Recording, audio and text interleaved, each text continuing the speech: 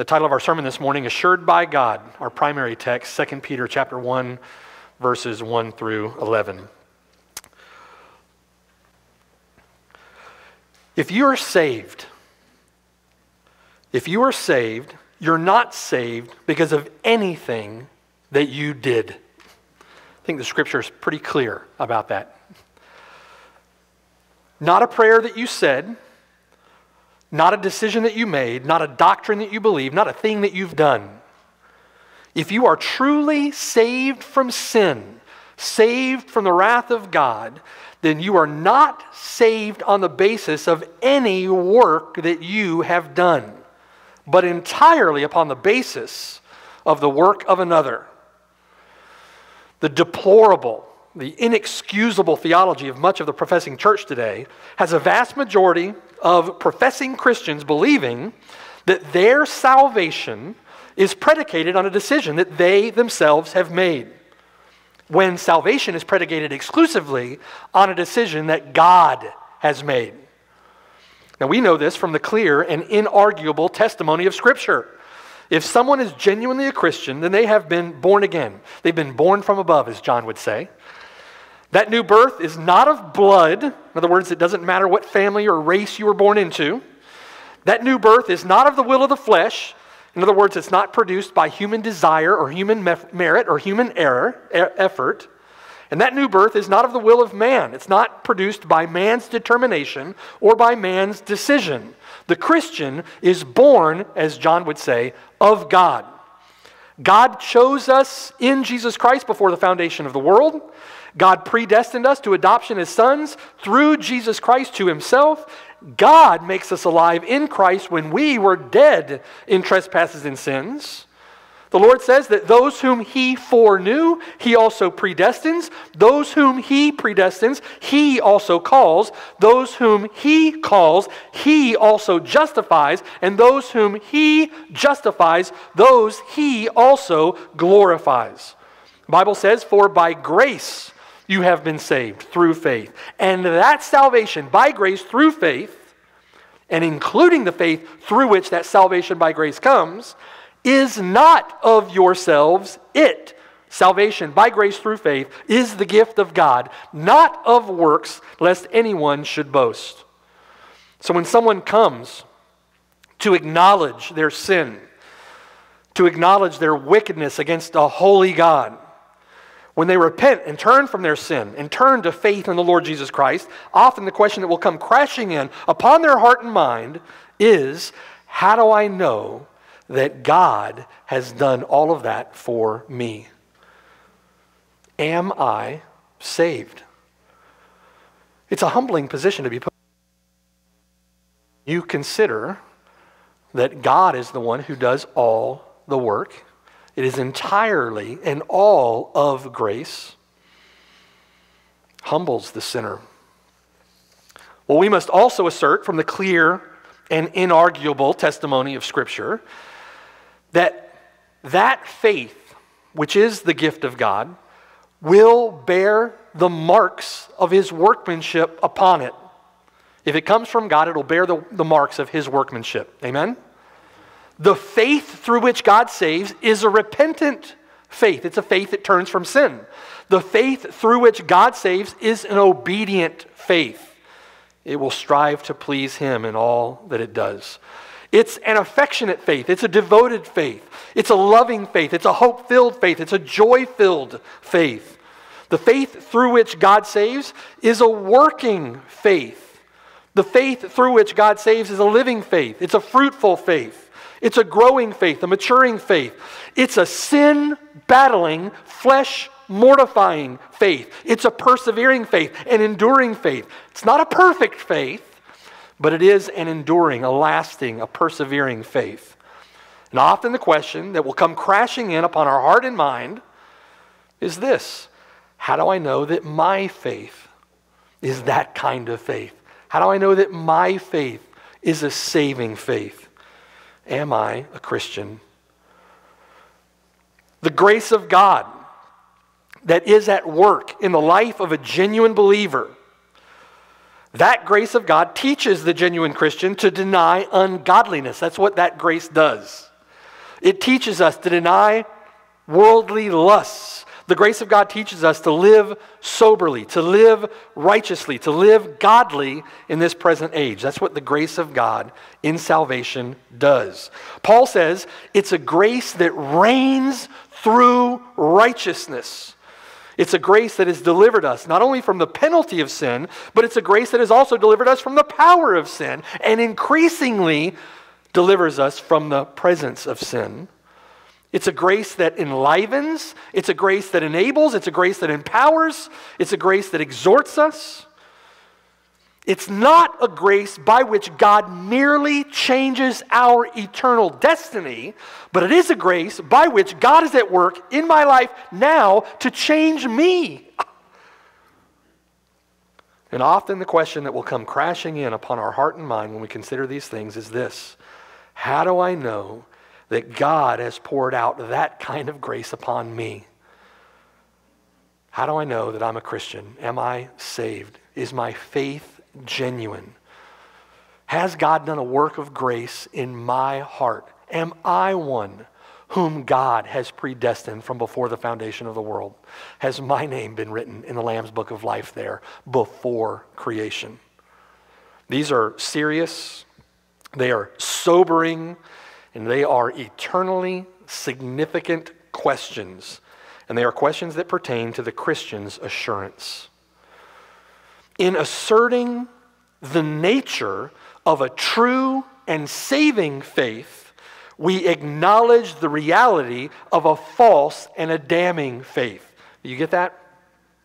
When we assert that the scriptures speak of a true and a saving faith, we are also acknowledging the truth of the Bible that there is such a thing as a false and a damning faith. How do I know that my faith is true? How do I know that my faith is real? These are questions of the Christian's assurance. In asserting the presence of a work of God's grace in the life of a believer, and that supernatural work, we also acknowledge the presumption upon grace that is the vain profession of the unbeliever. How do I know that God has done a work in my heart? How do I know that God is at work to will and to do in me according to his good pleasure? Vast, innumerable multitudes, masses of people have gone to the grave presuming upon the grace of God.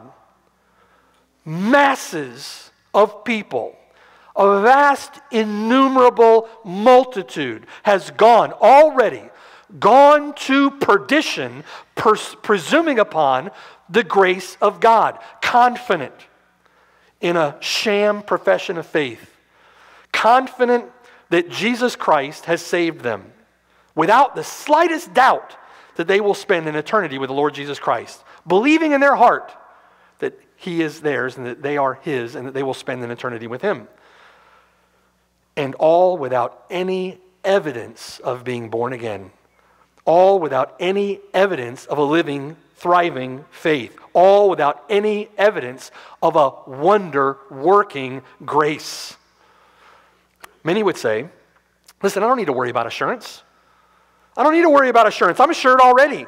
I believe in the Lord Jesus Christ. Right? Christ did all the work. I believe in him. That's what he does. That's what I do. I would be foolish to doubt what he has done. No. What's foolish is to presume that what he has done applies to you without testing and without evidence that it is so, without testing your faith to know that it is genuine and true and saving faith.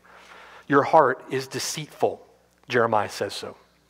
Your heart is deceitful above all things deceitful and desperately wicked. You have an enemy in your own breast. Jeremiah says, Who can know it? You can't know your own heart. Peter calls Christians to be even more, calls Christians, calls brothers, brethren, to be even more diligent to make your call and election sure. Because if you do these things, you will never stumble. First John is a series of tests by which you may examine the genuineness of your faith. And then John writes, after having examined your faith through the letter, the epistle of 1 John, John writes, These things I have written so that you may know that you have eternal life. Paul exhorts us test yourself, whether you're even in the faith. Test yourselves. A.W. Pink tells the story of a man who lived through an economic depression in England. And during this economic downturn, the banks in England were failing. So, people, when the banks started to fail, the people started to panic. And many lost confidence in the banks, and so there was naturally a run on the banks. And this man, a very wealthy man, decided to withdraw all his money from the bank. So he took his money out in five pound notes, pound sterling, and he had a friend exchange the, ca- the cash for gold coins. Then he took his gold coins and he hid them in a place where he knew that no one would find them. All his wealth all his savings, all that he had, all that he'd earned, all that he materially possessed, wrapped up, hidden away with those gold coins. It wasn't long before this man needed to buy some supplies. And so he went to his secret stash and took out some of the gold coins. He went from one shop to another, attempting to buy supplies, and none of the shops would accept the gold coins because they were counterfeit. The wealthy man, the one who thought he was wealthy, uh, in a panic went back to his uh, hiding place to look at the rest of the coins and he realized that all of the coins were counterfeit. A man who thought that he was wealthy uh, wasn't, he lost everything. Many, listen to me, many people walk this earth believing themselves to be in possession of heavenly riches. They walk this earth believing themselves to possess something that they do not possess. And you know, I know exactly what we're talking about here. That was many of us before the Lord intervened with grace poured out on us in Jesus Christ to save us from that wretched condition. And that comes at the preaching of the gospel. It's the duty of every informed and blood bought believer to preach that truth to unbelievers, to those who are deceived. Vast, innumerable multitudes will perish and drop into torment, believing, as that wealthy man did, that they are in possession of something that they are not in possession of. They believe their faith to be true gold when it is in reality a worthless and useless and damning counterfeit. How do you know that your faith is real? How do you know that you are genuinely saved? How do you know that you are in possession of a genuine faith? How do you know that you are in possession of heavenly riches in Jesus Christ? I'm a sinner. You're a sinner. We deal with our sin on this side of our ten- eternity. We deal with our sin in this life. How do I know that I won't die in my sins? How do I know that I'm forgiven? How do I know that Christ has saved me? These are questions that pertain to the Christian's assurance an assurance of salvation that grows out of our faith in the Lord Jesus Christ.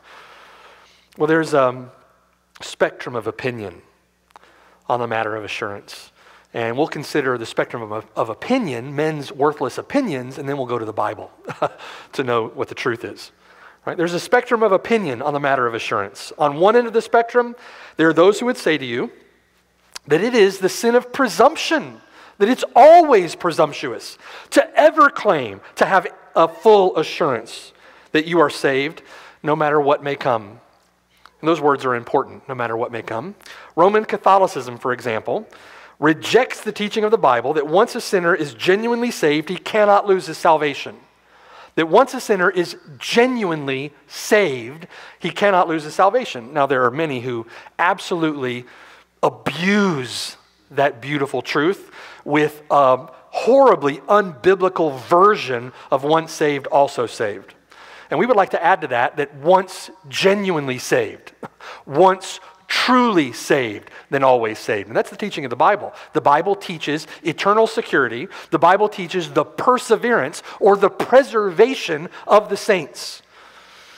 But Roman Catholicism rejects the doctrine of the perseverance of the saints. Roman Catholicism rejects the doctrine of eternal security, and so they reject that a believer may come to a full, and what our confession calls an infallible assurance of salvation.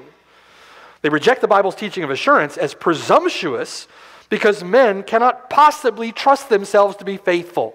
That's true. You can't trust yourself. I can't trust myself to be faithful. Praise God, our faith isn't in our own effort. They would say that full assurance is not wrong because it puts too much faith in God they would say that full assurance is wrong because it puts too much faith in ourselves. Well, that would be exactly right if it were up to us to preserve ourselves. That would be exactly right if it were up to us to grit it out in our own effort to persevere, as it is in the Roman Catholic heresy. But according to the Bible, we don't preserve ourselves. We're not preserved in our own effort. We do not hold ourselves. Jesus said, John chapter 10, verse 28.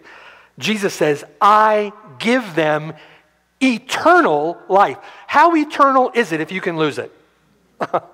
I give them eternal life, and they shall probably not perish. they shall never perish. Listen, we can have assurance of that. We can have a full assurance that we have presently eternal life and that we shall never perish. Neither, Jesus says, neither shall anyone snatch them out of my hand. My Father who gave them to me is greater than all, and no one is able to snatch them out of my Father's hand. I and my Father are one. We are assured that we are saved in Christ. We can have an assurance of that fact. The London Baptist Confession of Faith, 1689, our confession, chapter 18 of the assurance of grace and salvation, in Article 1, our confession says, although temporary believers and other unregenerate men, temporary believers are unregenerate, you see? Although temporary believers and other unregenerate men may vainly deceive themselves with false hopes and with carnal presumptions of being in the favor of God and in the state of salvation, which hope of theirs shall perish, yet such as truly believe in the Lord Jesus and love him in sincerity, endeavoring to walk in all good conscience before him, may in this life be certainly assured that they are in a state of grace. On the other end of the spectrum, on one end of the spectrum, those who think that any assurance at all is presumption. On the other end of the spectrum, there are those who would say that assurance of your salvation belongs to the essence of faith. In other words, true faith involves a settled assurance at the very outset. If I say I believe in the Lord Jesus Christ, then that is assurance of your salvation. You should never doubt it. Right? This was a part of the Marrow controversy, if you remember that. Uh, the Marrow men debated this issue. And um, a knowledge of God's saving disposition toward us based solely and only on the truth of the freely given promises in Christ. In other words, when you turn to Christ in faith, you should immediately have full assurance of your salvation and infallible assurance of your salvation based upon the work of Christ and the promises of Christ alone. Now, those who believe this might tell you, don't ever doubt it.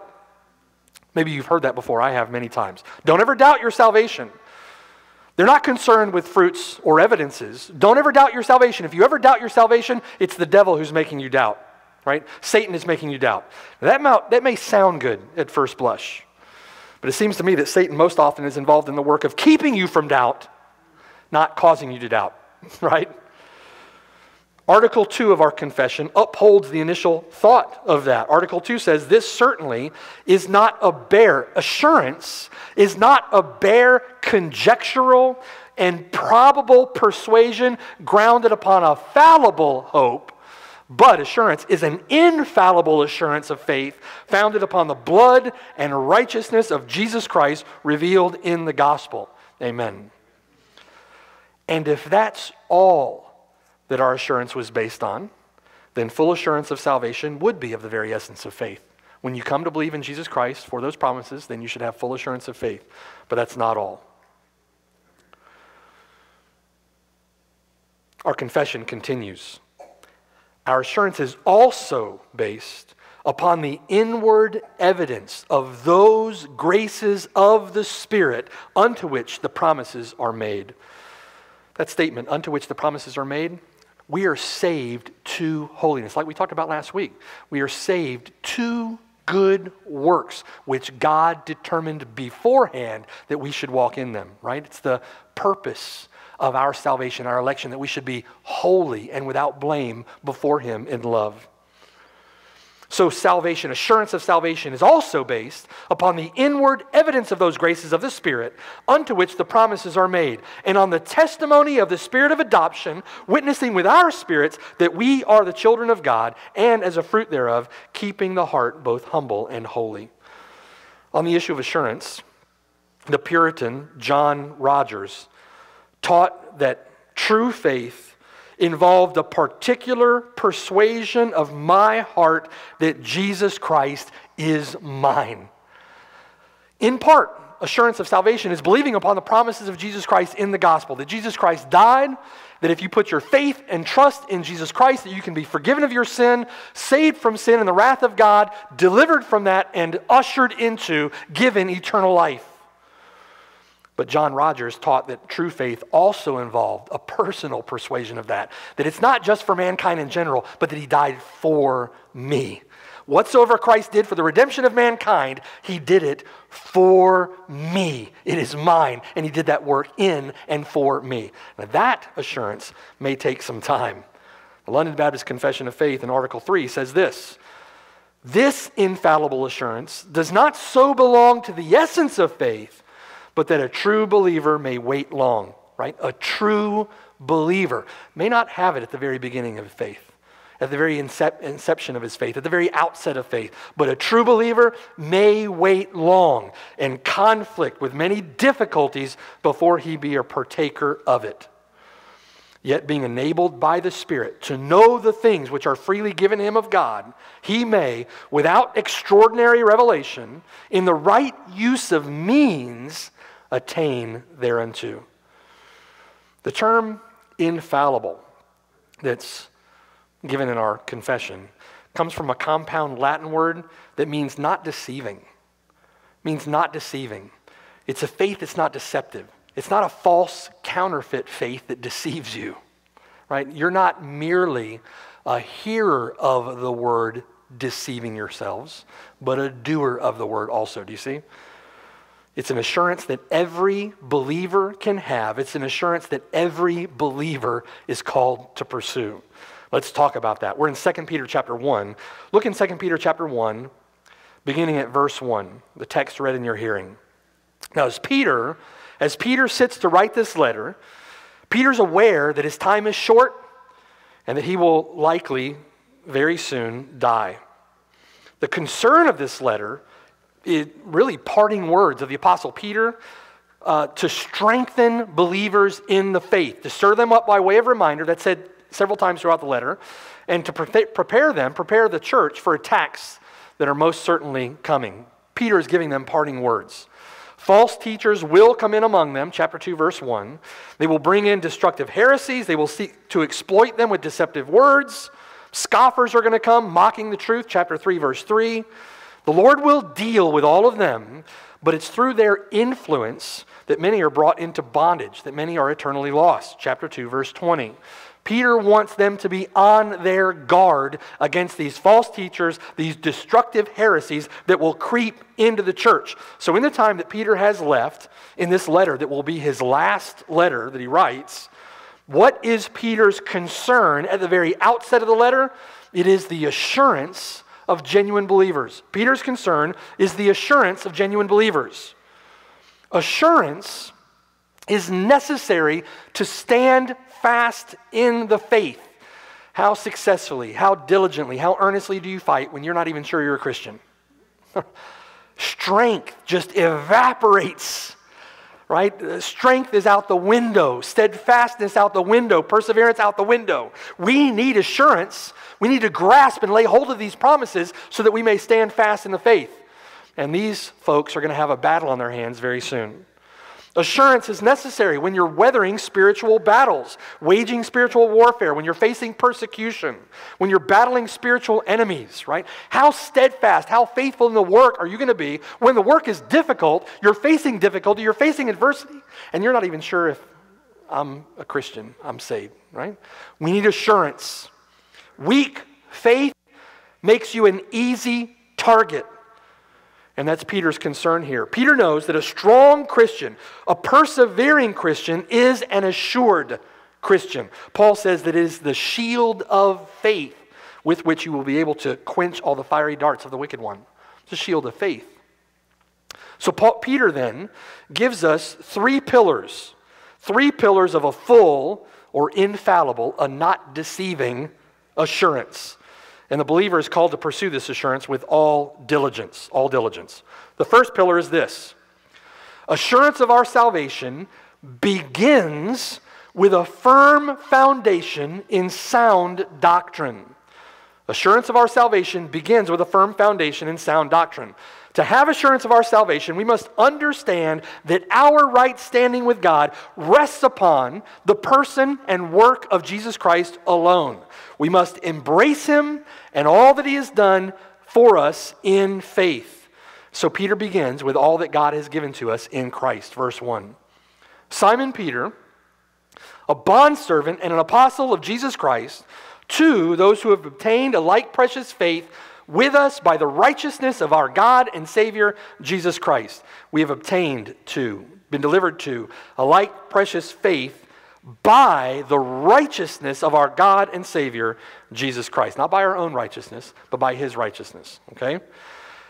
Verse 2 Grace and peace be multiplied to you in the knowledge of God and of Jesus our Lord as his divine power has given to us all things that pertain to life and godliness through the knowledge of him who called us by glory and virtue, by which have been given to us exceedingly great and precious promises, that through these, through these great and precious promises, you may be partakers of the divine nature, having escaped the corruption that is in the world through lust. Now, notice with me, verse 3 He called us by glory and virtue. The word virtue there means moral excellence. It's by glory and virtue that we've been given exceedingly great and precious promises. Well, by whose glory? By whose virtue? By your own virtue? no, you have none. You had none. Certainly not our own glory, not our own virtue. It's by the glory and virtue of the Lord Jesus Christ. It's by His glory and virtue that we've been given such great and precious promises. He has accomplished all that is necessary for our salvation. And that salvation comes to us through exceedingly great and precious promises. We receive these promises, those promises become ours through faith in Jesus Christ. And Peter describes them as exceedingly great and precious. Now, what are they? What are those exceedingly great and precious promises. There are many of them, they are manifold, right? The forgiveness of sins. Is that not a beautiful promise of the gospel? The forgiveness of your sin. You've been forgiven of your sin in Jesus Christ. Glorious. The imputation of Christ's righteousness. You are a worthless sinner. I am a worthless sinner, having no righteousness of my own. But I have been given as a gift, as a free gift of God, the righteousness of Jesus Christ. I have it as my own, such that God looks upon me as righteous.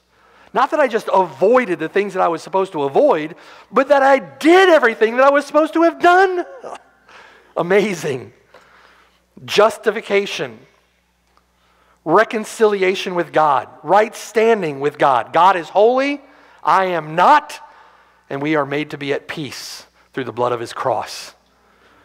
God's Spirit to take up his dwelling place within us. We are not left orphans. He has come to us by his Spirit and dwells in us. We are a dwelling place of the Spirit. Adoption as sons and daughters of God, not just reconciled to God, but brought into his very household as sons and daughters. And listen, not just as, as um, redheaded stepchildren, but as heirs, and heirs with Christ. We have an inheritance. Eternal life with Jesus Christ in the new heavens and the new earth. These precious, exceedingly great, and precious promises. It's through these promises, verse 4, that we've been given two benefits. Through these promises, we have two benefits. One, that we may be partakers of the divine nature. Partakers of the divine nature. Christ in you, the hope of glory. Communion, unfettered by sin in eternity. Communion, fellowship with the Lord Jesus Christ. And secondly, we escape from the corruption that is in the world through lust. We have been set free from bondage to the power of sin, created anew, as the Bible says, in true righteousness and in true holiness. So, the first pillar, the first pillar of an infallible or full assurance of faith is Christ, uh, in Christ for these promises. We are to put our faith in Jesus Christ for these promises. This isn't bare conjecture. This is not a probable persuasion grounded upon a fallible hope. This is an infallible assurance of faith founded upon the blood and righteousness of Jesus Christ revealed in the gospel, through which we must believe that we have, present tense, have exceedingly great and precious promises. From there, from that first foundation, Peter moves on to the second pillar of an infallible or full assurance of salvation.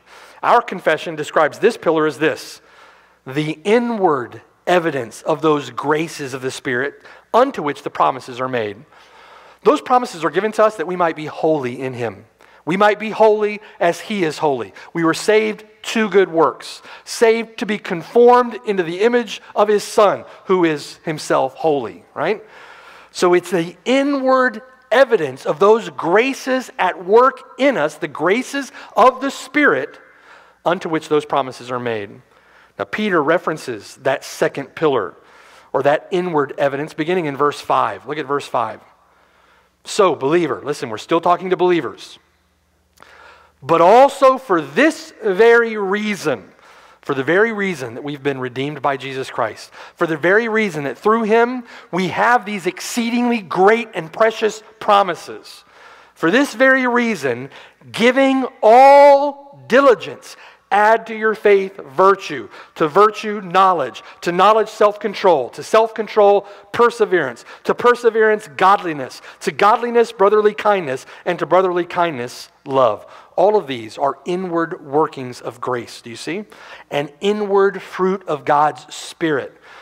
Peter says here in verse 5 bring to bear on your Christian life all diligence. You work out your salvation with fear and trembling. Why? Because it is God who is at work in you, both to will and to do according to his good pleasure. Bring to bear on your Christian life all diligence. Employ a zealous and intense fervor to accomplish this purpose. Make every effort, is what the word means. Make every effort to add to your faith. Now, what does a believer need to do to experience a full and infallible assurance of salvation. Do everything, make every effort, do all that you can do to add to your faith these seven characteristics. When someone comes and says, I'm not sure I'm a Christian, I'm having difficulty, I, I doubt whether I'm saved, right? And that happens in the life of every believer. Our confession says that's going to happen in your Christian life. We're going to struggle with these things. Sometimes we struggle for a long period of time. I remember when I was a, a new Christian and I was struggling with assurance over my salvation, I read uh, John Bunyan's work, Grace Abounding to the Chief of Sinners.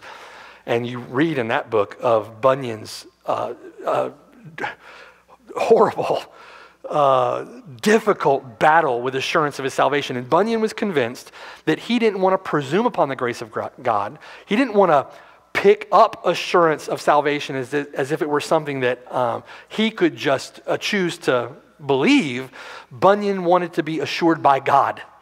Bunyan wanted God to assure him that what he had done applied to him.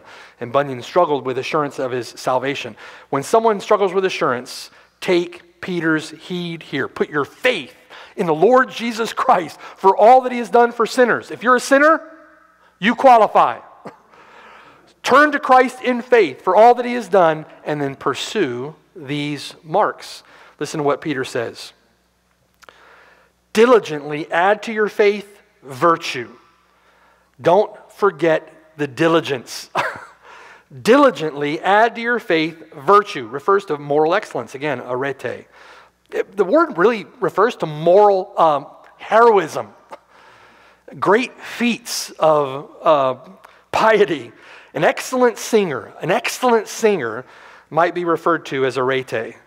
An excellent craftsman might be referred to as arete. Here, the word refers to a morally excellent or a virtuous Christian. Arete. Turn from your sin, put on the new man that is renewed according to the image of him who created him, and do that with all diligence. Jesus Christ is our example. Follow his example. Imitate Christ. And add to your faith virtue, moral excellence. Diligently add to your moral excellence knowledge we talk about this on a regular basis. Diligently add to your moral excellence knowledge. The word refers to an increasing understanding of divine truth, increasing discernment, increasing understanding, increasing wisdom, increasing application of that. We must grow in our knowledge of Him. The more that we grow in our knowledge of Him, the more that we grow, as it were, in our view of who He is, the more that we grow to be like Him. The more that we reflect that image, we must grow in our knowledge of Him. Grow in your understanding of good, sound, biblical doctrine. Don't just settle for cotton candy. grow in your knowledge of Him. Grow in your knowledge of theology. Grow in your knowledge of the Bible.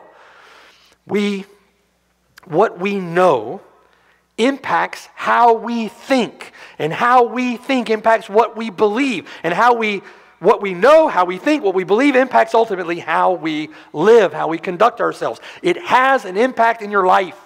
Now, some knowledge, most knowledge, all knowledge outside of the Bible is not like that. Right? The more that I study, forgive me, engineers, the more that I study engineering, that has no impact on my life unless it's going to help me fix my garbage disposal or uh, the garage door when it, when it breaks down. It's not going to change who I am. But your knowledge of Him will. It is in the work of the Spirit of God applied in your life to change who you are, to change you into His image. You must grow in your knowledge of Him through His Word.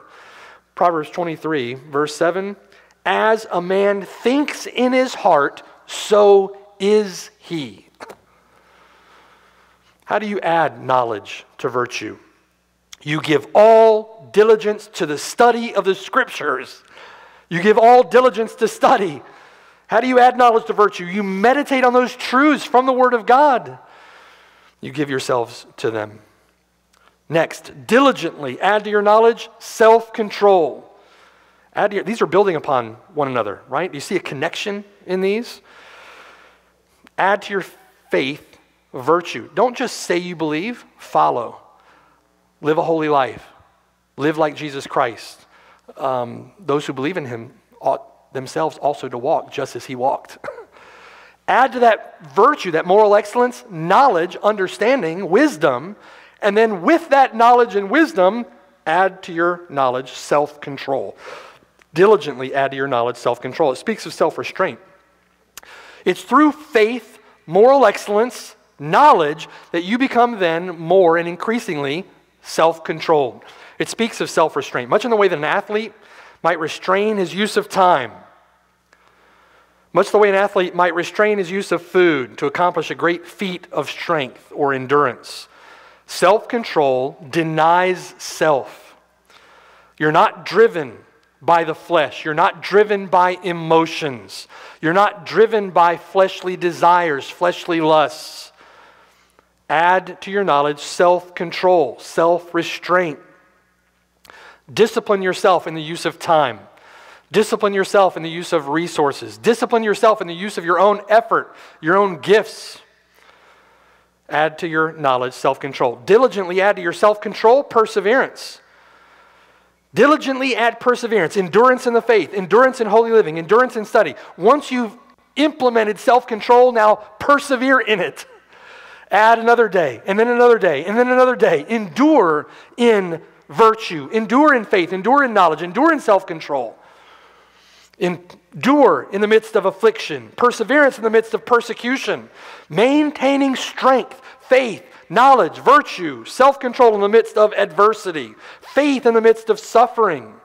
It's not merely resigning yourselves to these things, but it's forward looking with all those things in your possession. Right? Remember the Lord Jesus Christ. The Lord Jesus Christ, for the joy that was set before him, endured the cross, despising the shame. Despising the shame meaning that he counted it a common thing. Right? In comparison with the joy that was set before him, the shame is nothing. I'll gladly endure it.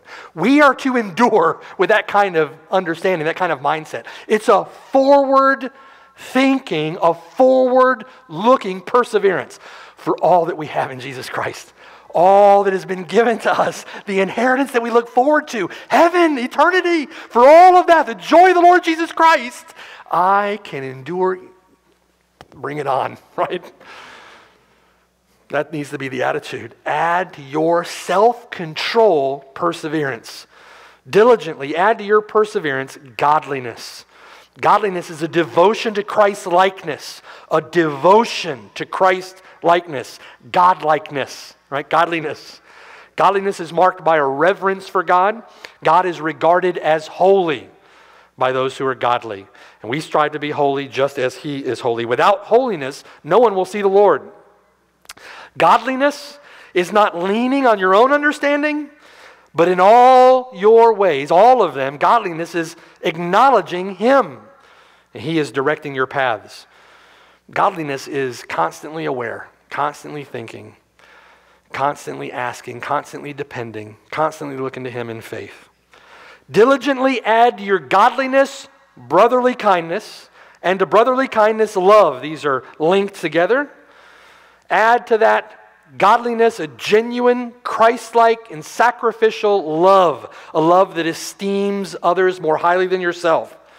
It means investing your time, it means investing your resources to pour into your brothers and sisters that you serve the Lord with. Well, how do you give all diligence, every effort to brotherly kindness and love? How do you do that? You labor in the church. This is how you serve, right? This is how you serve in the body, the one another's. Love bears one another's burdens. Galatians chapter 6, verse 2. Look for burdens to bear. Go out, be intentional about it. Love your brothers. Love comforts one another. Who can you comfort? 1 Thessalonians chapter 4 verse 18. Love stirs one another up to love and good works. How do you do that? Right? Be practical, be intentional. Stir one another up to love. Stir one another up to good works. Let's go, guys. Right? Stir one another up. Love prays for one another. Love edifies one another. Love corrects. Love instructs. Love rebukes, love forgives, love is hospitable. Love cares for one another. Love labors to be involved in the life of this church where love can be expressed in action. If you're not laboring in the life of this church where your love can be expressed in action, then you're not acting upon your love. Love preaches the gospel.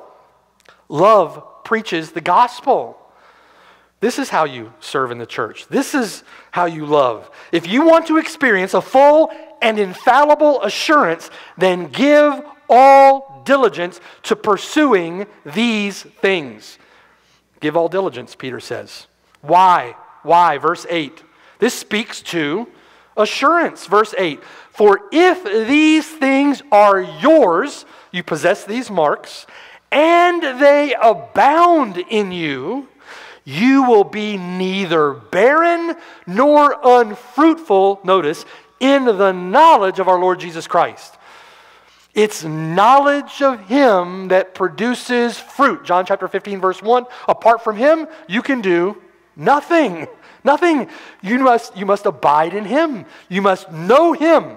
A knowledge of Him produces fruit. And fruit is the measure that the Lord uses to distinguish between that which is alive, that which is real, that which is genuine, and that which is dead, that which is false, and that which is damning.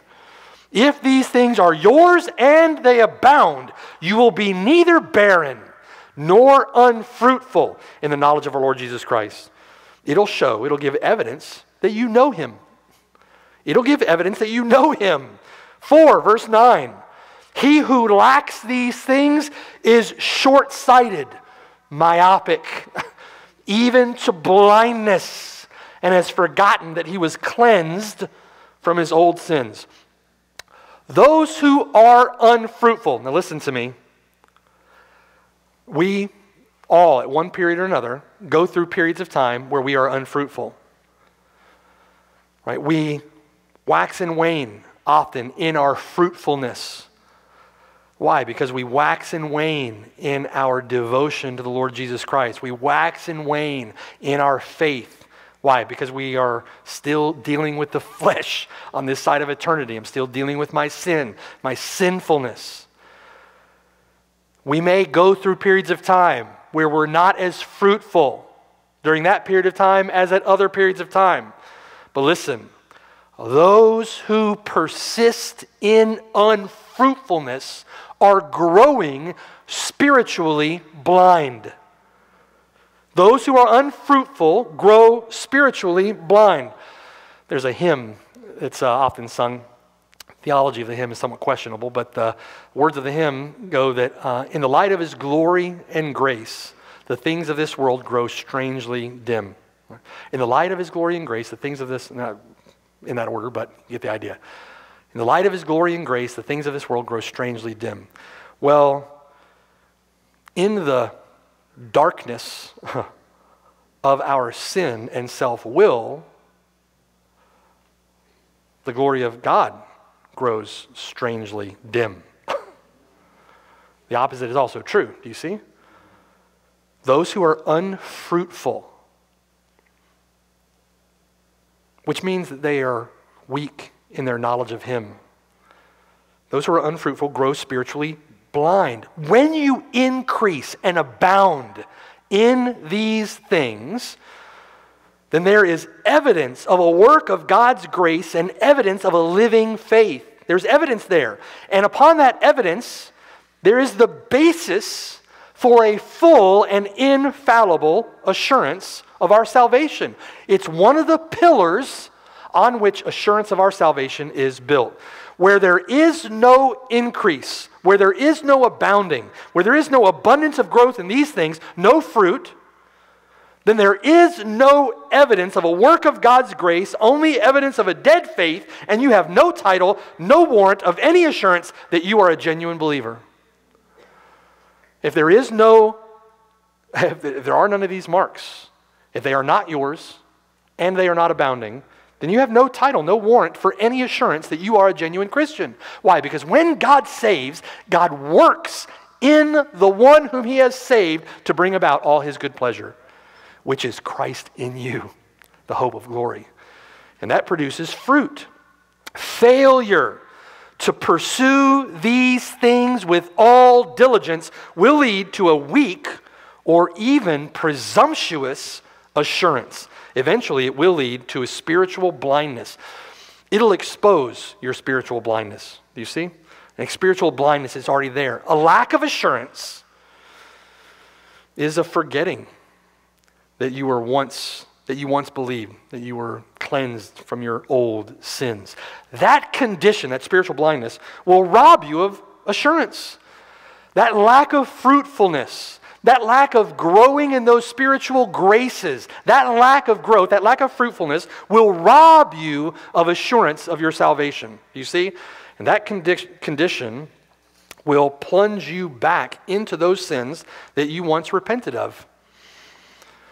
I don't know about you, um, but maybe it's only true of me. But in my Christian life, there have been times when I acknowledge that the things of God begin to grow strangely dim. And all of a sudden, it will, um, it's almost like, uh, you know, grabbing someone by the lapels and shaking them, right? It's like, um, and the Lord uses that to remind me that I am in great need of Him, great need of perseverance, great need of His power to preserve me. Um, pursue those with all diligence. You'll be, there, be neither barren nor unfruitful in the knowledge of Him. In all of this, we see the third pillar of a full or infallible assurance of salvation. And here, throughout this text, is the work of the Spirit. The third pillar is the Spirit's work in testifying to your spirit through these means that you are a child of God. These are, as our confession states, the inward graces of the Spirit. They're not produced in your own strength. You can't fake it for very long. You can't really fake it at all. The Lord knows, right? Romans chapter 8, verse 16 the Spirit Himself bears witness with our spirit that we are children of God. These are inward graces of the Spirit. Assurance of our salvation, then, assurance of our salvation is not only faith in Christ for the objective promises that are freely offered us in the gospel, but assurance of our salvation then is the subjective and spirit given, spirit wrought confidence that we truly, genuinely possess saving faith and therefore eternal life in Him. Verse 10 Therefore, brethren, be even more diligent. Give all diligence to pursue those characteristics, and then give even more diligence through these appointed means to make your call and election sure. Peter is calling you to a full and infallible assurance of your salvation. He's calling you to that assurance. This is something we should have, possess. It's something that we should pursue if we don't have it. This is something that the Christian can have. Peter is calling us to it. And you make your call and election sure by pursuing these things that Peter is calling us to pursue. For, he says, verse 10, if you do these things, you will never stumble. For so an entrance will be supplied to you abundantly into the everlasting kingdom of our Lord and Savior, Jesus Christ. Peter's concern here is assurance. Do you see? The assurance of the believer. A full and infallible assurance is the experience of the Christian who gives all diligence to what Peter has instructed us to do here. 1 John chapter 3 verse 18 John says, "My little children, let us not love in word or in tongue, but in deed and in truth. And by this we know that we are of the truth and shall assure our hearts before Him. It's by this faith in Jesus Christ for the promises, a working out of our salvation, as it were, in fear and trembling, by pursuing the evidences of a genuine faith. By this, we know that we are of the truth and shall assure our hearts before Him. It's by this that deluded souls escape their deception. It's by this that the hypocrite is exposed. Do you see? Article 3 of our confession continues. Therefore, it is the duty of everyone to give all diligence to make his calling and election sure, that thereby his heart may be enlarged in peace, may be enlarged in joy in the Holy Spirit, in love and in thankfulness to God, in strength and in cheerfulness in the duties of obedience, the proper fruits of this assurance. It's a wondrous doctrine. Brothers and sisters, let me encourage you, let me exhort you Pursue this with all diligence. Don't grow lazy or sluggardly or apathetic or indifferent. If you grow lazy or sluggardly or apathetic or indifferent, spiritual blindness begins to set in. Don't allow that to be the case. Pursue these things with all diligence. Give yourselves to them, and you'll be neither barren nor unfruitful in your knowledge of Him, which is a wonder to behold. All praise, honor, and glory and blessing to Him who works in us by His Spirit to assure us that we are His children. Amen. Let's pray. Take a moment now as you consider uh, the teaching of God's Word on this subject. Do you have assurance of your salvation? Are you a Christian? Is God, has God done a work in your heart by grace? Is He at work through the means of faith to produce these graces in you? If not, cry out to the Lord now. Depend upon Him and ask Him to do that work in you. Uh, if He is, praise Him for it and revel in that and embrace the full assurance by faith. Let's pray. Father in heaven, I pray that if there's anyone here who's unconverted, Lord, that you would save them for the glory of your Son, for the glory of your own name, that you would work in them um, to produce the fruit of that. For my brothers and sisters here, Lord, I pray that you would build them up in their most precious faith, and that you would render them neither barren nor unfruitful in their knowledge of you you would only increase, that you would add to their faith virtue, to their virtue knowledge, to their knowledge self control, to self control perseverance, uh, to all that godliness, brotherly kindness, and love, Lord, that you would uh, work in them uh, these inward graces of your Spirit, that they might be fully assured of their standing with you, and that that would, for your glory, um, add to their fruitfulness and add to our joy. Encourage us in these things, Lord, we pray. We love you. We thank you, Lord, for the blessedness of these truths and um, worship you for them. In Jesus' name, amen.